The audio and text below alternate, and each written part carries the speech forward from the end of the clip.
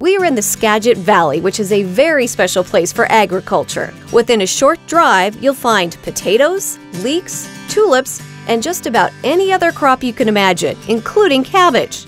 I caught up with a grower who's been growing cabbage for decades. I'm here with Kirby Johnson, farmer in Skagit Valley, and uh, one of the things you grow is cabbage, right? Right, for You- sauerkraut. The 2017 growing season was a bit of a wild card for cabbage growers in the coastal region.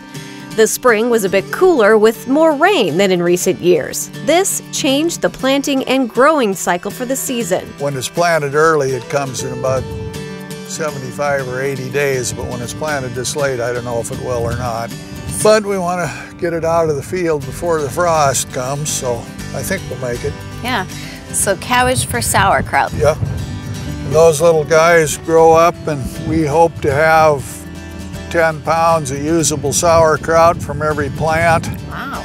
This will form a head, and it'll be tight, and it'll be, uh, oh, 12, 15 pounds. Why is this cabbage good for sauerkraut? It's good for sauerkraut because it forms a big solid head and, and uh, you know, white in color. Sauerkraut's got to be white. Mm-hmm. And so the, the color is right and the head size is big and this climate is good for growing cabbage.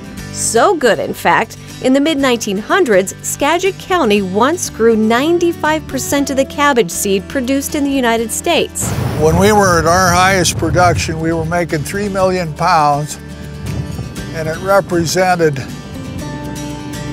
2 or 3% of the production in the country. So you can imagine how a lot of much sauerkraut. How long have you been a farmer? All your life? all my life. Almost said a certain number of years, but you don't want to divulge. Is it a family farm? So, like, you farmed and then your dad farmed and then. fourth generation. Really? Yeah. My dad had four brothers. My family was three brothers, and we farmed together. So here we are, still at it. Kirby's son Steven is the next generation working on the farm.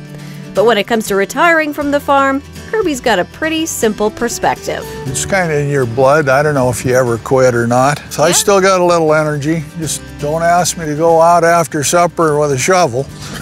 Yeah, I'm with you there.